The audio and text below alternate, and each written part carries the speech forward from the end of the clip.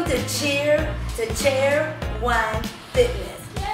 Yes! Are you excited? Yes! So today we're gonna work our arms, our legs, our hips, our shoulders, and our neck. So we're gonna work our whole body. You don't have to worry about any um, stress on your knees, your ankles, your lower back. We have all the support.